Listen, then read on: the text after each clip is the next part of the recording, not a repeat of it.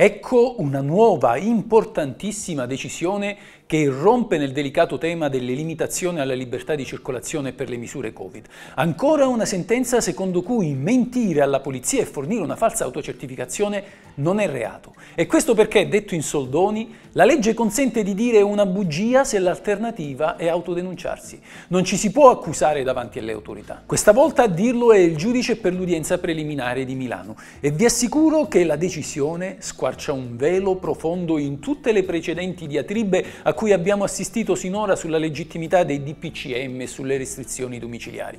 Se ne volete sapere di più su quest'ulteriore puntata dell'ormai infinita telenovelas Covid-19, non dovete fare altro che iscrivervi subito al canale, azionare la campanella degli avvisi e attendere la sigla. Fate poi molta attenzione a ciò che vi dirò subito dopo la sigla.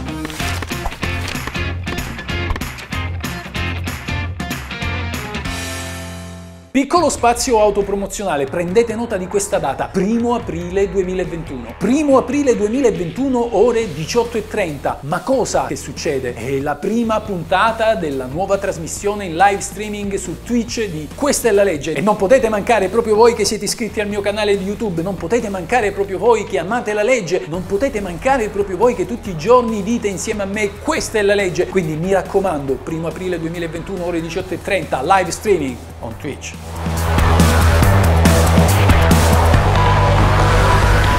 Come vi dicevo, rischia di aver subito il definitivo colpo di grazia all'autocertificazione richiesta dalla normativa anti-Covid per giustificare gli spostamenti nelle zone di lockdown. Dopo il Tribunale di Reggio Emilia, che l'11 marzo scorso assolse una coppia dall'accusa di falso ideologico per aver mentito su quanto scritto nell'autocertificazione, trovate il link se cliccate qui in alto sul video, ora si aggiunge anche il GUP di Milano. Il giudice lombardo ha ritenuto innocente un ragazzo che aveva detto il falso alle forze dell'ordine che gli chiedevano ragione in merito al suo spostamento. Secondo il nuovo provvedimento non esiste formalmente alcuna norma giuridica che obblighi un cittadino a riportare la verità sull'autocertificazione prodotta durante l'emergenza Covid.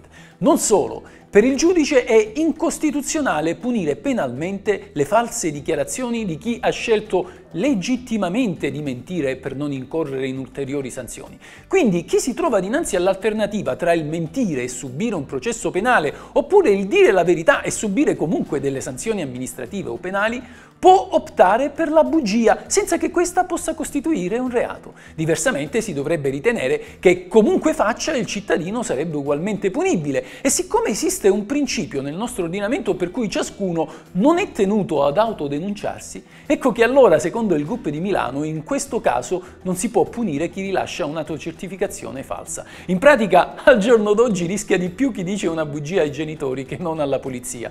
Incredibile, vero? Ora vi racconto la storia. La primavera scorsa, durante il primo lockdown, un ragazzo veniva fermato alla stazione di Cadorna, nel pieno centro di Milano, per un controllo. Agli agenti aveva dichiarato di lavorare in un negozio e che in quel momento stava proprio rientrando a casa. Dopo dieci giorni, però, uno dei poliziotti, per verificare se il giovane avesse detto la verità o meno, aveva inviato un'email al suo datore di lavoro, il quale, pur confermando il fatto che il ragazzo era un suo dipendente, aveva però smentito la dichiarazione del giovane, affermando che quel giorno non era di turno. Da qui la denuncia per falso ideologico in atto pubblico ed il processo penale con rito abbreviato. Il giudizio però si è concluso con l'assoluzione. Come vi ho detto, per il giudice non c'è alcun obbligo di dire la verità sull'autocertificazione anti-Covid, quindi nessuna sanzione.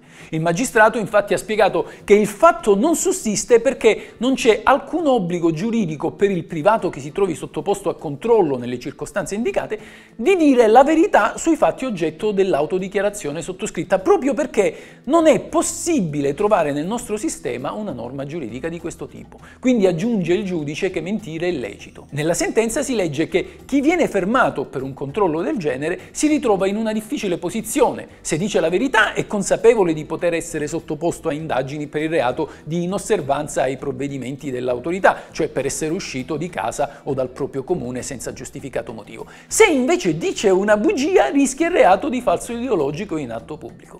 Per il giudice questa alternativa di scelta tra il vero e il falso contrasta con il diritto di difesa della persona. Altrimenti si dovrebbe sostenere che il privato sia obbligato a dire il vero nell'autocertificazione pur sapendo che ciò potrebbe comportare la sua condanna per la violazione alle restrizioni Covid, con conseguente multa. Ciliegina sulla torta.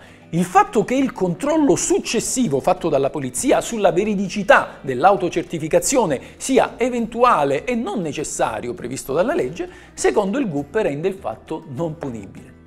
Bene amici, è tutto. Un'ultima considerazione. In questi giorni ho letto diversi commenti ai miei video sulle ultime sentenze che dichiaravano illegittimi i vari DPCM. C'è chi dice tanto io me ne frego ed esco comunque e di questo non ci meravigliamo affatto visto che se così non fosse non saremmo quelli che siamo e gli avvocati non avrebbero tanto pane quotidiano. E infine c'è anche chi dice io anche se i giudici dicono che le restrizioni sono illegittime le rispetto ugualmente perché è una questione di buonsenso a prescindere dalla legge. E poi qualcuno chiede quale sia la mia posizione. Beh, per quanto mi riguarda, una posizione è quella dell'avvocato, un'altra quella dell'uomo. E chiaramente, quando si finisce per essere troppo tecnici, si finisce anche per essere poco uomini. Questa è la legge. Ciao amici, se vi interessa sapere cosa dice la legge, come va interpretata, cosa si può fare e cosa non si può fare, il tutto in un linguaggio semplice ed accessibile a tutti, iscrivetevi al mio canale, questa è la vera legge.